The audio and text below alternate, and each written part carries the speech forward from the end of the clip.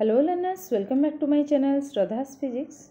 In this part we will see the relation between the relativistic momentum and the kinetic energy. In the last lecture we have discussed about the relativistic momentum and the total energy of the system that is the total energy of the body relation. So here we will see the relativistic momentum and the kinetic energy relation that is P will be equal to k square by c square plus 2m naught into k. So here the K is nothing but the kinetic energy or that is your EK. Okay, that K is nothing but your EK that we have already discussed in our last lecture. Now let us start our topic. The relation between the relativistic momentum and the kinetic energy.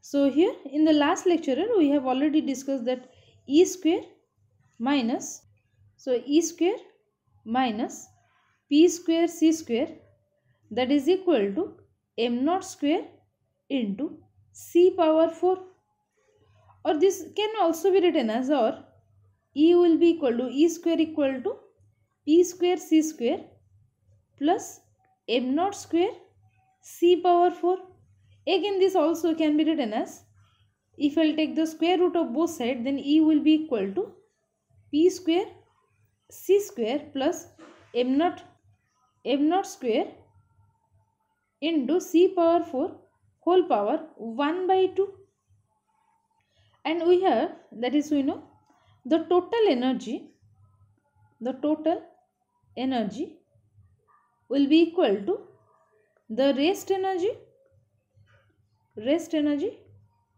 plus the kinetic energy the total energy of the body will be rest energy plus the kinetic energy that is the relativistic kinetic energy as we have established that relation so we can write here this E will be equal to the rest energy you know m naught into c square where m naught is the rest mass of the body plus the kinetic energy that we have already written that is this kinetic energy is you can write k or this is simply ek or we can write this e that is we have already derived that is p square c square plus m naught square into c power 4 whole power 1 by 2 and that is equal to m naught c square plus this energy ek or simply we can write this is your k now if i will square both side that is squaring both side we can write this is m naught square c power 4 plus p square c square that is equal to m naught c square plus k whole square. This k is the kinetic energy. So the right hand side term can be written as this is in the form of a plus b whole square that will be m naught square c power 4 plus 2 m naught c square into k plus k square. Okay. Or on the left hand side this is your m naught square c power 4 plus p square c square. So we can ca cancel this term that is m naught square c power 4. This term get cancelled. So the remaining term will be equal to p square c square that is equal to k square plus 2 m naught c square into k. Okay.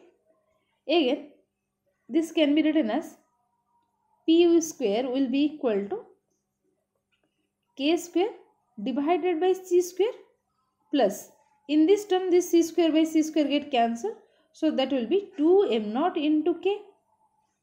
Or simply we can write the linear momentum P will be equal to the root over of k square by c square plus 2m0 into k. Okay. So in this way you can represent the relativistic momentum with the kinetic energy relation. So here this K is nothing but your kinetic energy or simply Ek. That is the kinetic energy of the body. Okay. So P equal to K square by C square plus 2 M naught K whole root of R. This is all for today. Thank you all.